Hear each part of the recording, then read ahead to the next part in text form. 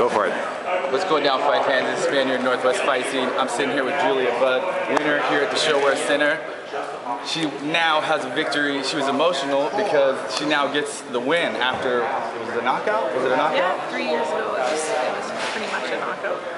They, they called it a knockout, so. Those are always hard to take, but it was a kickboxing match, and now you get your victory, you get retribution. Yep. Um, talk about that in the fight tonight. Yeah, I knew I knew when I took the fight that I was gonna have to adapt a little bit to, you know, start wrestling and start showing more of my skills.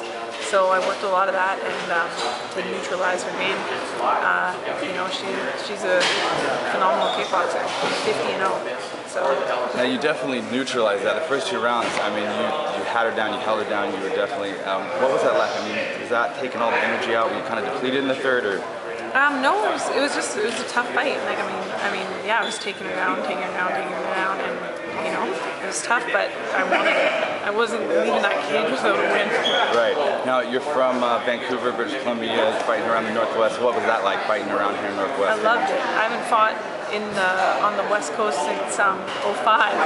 So I was really excited. My parents got to come and watch me, and it was just great having them there. Awesome. Um, you train at Gibson MMA. Uh, talk about your coaches, the people you're training.